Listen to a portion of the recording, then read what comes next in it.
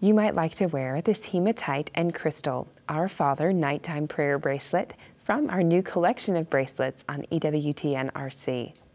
It's made of genuine hematite, faceted crystals, and enameled metal elements. It has the same enameled Our Father prayer medal with hematite and shell, star, and moon dangles.